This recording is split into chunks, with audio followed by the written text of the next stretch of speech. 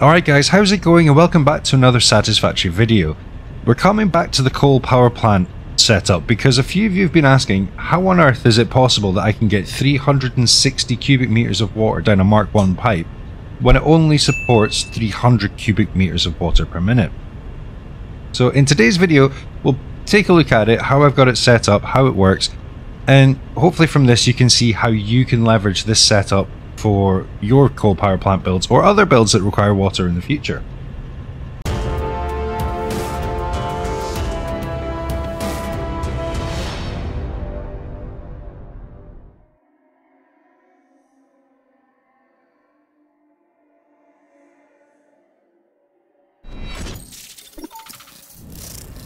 Okay, so here we have our coal power plant from the video. The only thing I've changed is I have painted the water pipes blue just to make it obvious that they carry water. So we have three water extractors, each extracting 120 cubic meters of water per minute. So that makes a total of 360. Then we have eight coal power plants, all of which are consuming 45 cubic meters of water per minute, as you can see here. So how does that exactly translate? Because all we have here is pipeline mark 1s, so as you can see here, both sides. So there's no hidden thing or anything like that.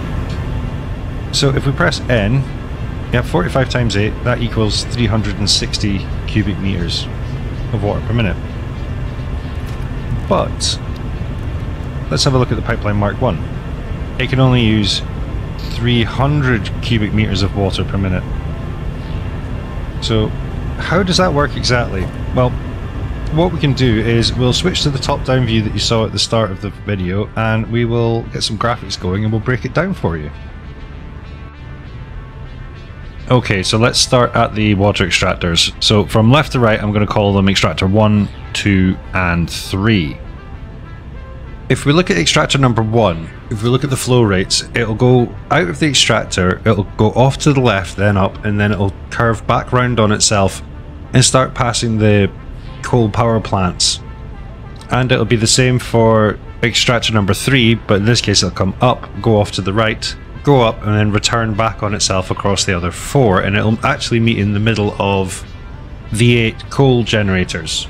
So ultimately you've got one feeding effectively four coal generators and then you've got number three feeding the other four coal generators but that's not quite enough uh, water for both of them it's where we need number two to come in now that we have extractors 1 and 3 producing 240 of the 360 water per minute requirement, this is where number 2 comes in. What we have to do is basically take that 120 water per minute that it produces and split it into two 60 water per minute lines and merge them into the two sides of the system effectively. So all we do here is we add in a connector into a pipe and then run them in towards another set of connectors which in this case will act as mergers and it flows in two directions. And what this effectively means is that if we take just the output from extractor 1 and half the output from extractor 2, we've suddenly changed 120 water per minute into a 180 water per minute line. So there's actually still an awful lot of capacity in the Mark 1 pipes to hold even more water. So this could actually be scaled up and can be used to run much bigger coal systems. So if you actually haven't quite got fuel generators yet, you could increase your belt speeds and you could add more coal generators and you could actually just get away with maybe adding in another couple of water extractors, depending on how the mathematics work out, and you will be able to run them with very few water extractors. And there you have it. That's all it takes to run 8 coal power plants off of 3 water extractors when you're using Mark 1 pipes that only carry 300 water per minute, but when the system itself requires 360 water per minute. So with that, I hope you've enjoyed the video. I know it's been a while since I've last uh, put one out, but hopefully from now on things have been settling down so I'll be able to start generating more content for you guys. And if you have any suggestions about more satisfactory content or if there's other games you'd like me to cover, just let me know. Hit me up in Discord, leave a comment, just give me your feedback and I will get on it. So, until then, I'll see you in the next one.